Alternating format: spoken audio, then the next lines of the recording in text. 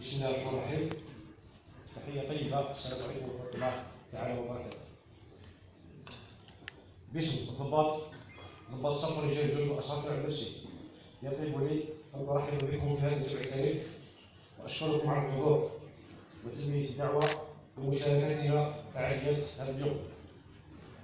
أبواب مفتوحة على الخط الوطني إلى 28 29 جوان 2018 وعلى رأسهم السيدة والي ولاية الحجاج السادة أعضاء اللجنة الفنية السادة حضور ضيوف الإكرام هذه المناسبة التي أصبحت تقليدا في تاريخ هذه المؤسسة التي هي جزء لا يتجزأ من الجيش الوطني الشعبي.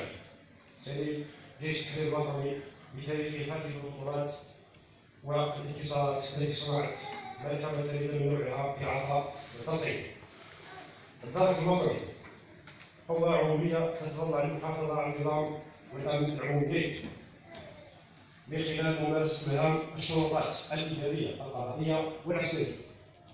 إن قيمة المؤسسات تقدر بقيمة الرجال العاملين بها كما تقدر قيمة القوانين بقيمة القائمين على تنفيذها ولرفع هذا التحدي الكبير وحتى يكون في المقدمة لمواجهة التطورات فإن القيادة عقدت العزم بانتهاج استراتيجية واضحة المعالم تتضمن برامج طموحة متكاملة تحافظ على الأصالة وتعتمد على العصرنة والتطوير لتعزيز قدرات السلاح وغير التصدي للإجرام بشتى أنواعه وأداء مهامه باحترافية فأعطت العنصر البشري عناية خاصة باعتباره الثروة الحقيقية للمؤسسة وعامل أساسي لمواجهة التحديات وكسب الرهانات المستقبلية.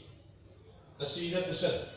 في إطار ترسيخ مبدأ الدرك الجواري وتقريب المؤسسة من المواطن وتعزيز مصداقيتها وانطلاقا من التجارب الناجحة الناجحة للأيام السابقة تقرر تنظيم هذه الأبواب. لا يفوتني بهذه الفرصة والمناسبة السعيدة أن أتوجه لك بأسمى عبارات الشكر وكذا لكل من ساعدنا على أداء المهام الموكلة لنا أخص بذكر السلطات الإدارية الولاية وعلى رأسهم سيدة والي الولاية وكذلك السلطات القضائية وعلى رأسها سيدان نائب العام ورئيس مجلس القضاء ومختلف المصالح الأمنية والهيئات الإدارية دون أن ننسى نخص بذكر رجال ونساء الإعلام الذين نعتبرهم شريكا فعال في المجتمع. في الأخير وبمناسبة حلول ذكرى 56 عام الاستقلال هذه ذكرى غالية على الملوك الجزائريين والتي تفصلنا عنها أيام معدودات لا يفوتني من هذا المنبر. أن أتمنى لكم ولكل الحضور ولذويكم أسمى عبارة التقدير. وأن يعيدها الله علينا إن شاء الله بالخير والبركات. المجد والجحود الشدائد الأبرار. تحيا الجزائر